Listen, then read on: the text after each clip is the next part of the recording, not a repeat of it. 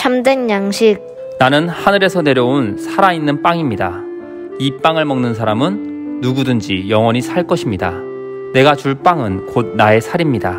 세상은 그것으로 생명을 얻게 될 것입니다. 유다인들이 예수님의 말씀을 듣고 서로 따졌습니다. 이 사람이 어떻게 자기 살을 우리에게 준다는 거야? 무슨 숨은 뜻이 있나 본데? 세상이 생명을 얻다니 도대체 무슨 소리요? 정말 잘 들어두세요. 만일 내 살과 피를 먹고 마시지 않으면 여러분은 생명을 간직하지 못할 것입니다.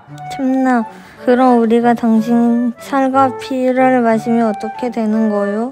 그 사람은 영원한 생명을 누릴 것이며 내가 마지막 날에 그를 살릴 것입니다. 그것은 하느님께서 하실 일 아니요? 당신이 무슨 재주로 그런 일을 한다는 것이요? 살아계신 아버지께서 나를 보내셨고 나는 아버지의 힘으로 살고 있습니다. 그러니 나를 먹고 마시는 사람은 내 안에서 살고 나도 그 안에서 사는 것입니다. 내가 바로 참된 양식, 참된 음료입니다. 갈수록 태산이군. 예수님께서 가파르나움 회당에서 가르치실 때 하신 말씀을 듣고 많은 사람들은 잘 이해하지 못했습니다.